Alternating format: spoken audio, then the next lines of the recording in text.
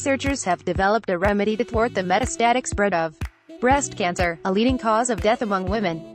The findings, published in the journal Nature Communications, showed that by inhibiting a protein called TAK1, the researchers were able to reduce lung metastasis in mice with triple-negative breast cancer, TNBC. TNBC is a deadliest type of breast cancer that comprises 20% of breast cancer cases and is particularly difficult to treat. For this subtype of breast cancer, few treatment options are available to target metastasis, and typically, these treatments are associated with high toxicity, said co-author Min Yu, assistant professor from the University of Southern California. A better understanding of tumor cells and their interactions with organs and tissues could help us design targeted therapies specific for metastasis, Yu added.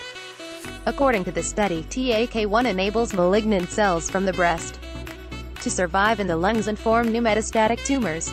Metastasis are the most common cause of cancer-related death. There is already a potential drug, called OXO, that can inhibit TAK1, and presumably make it much more difficult for breast cancer cells to form lung metastasis. However, OXO is not stable in the blood, and therefore would not work in patients, the researchers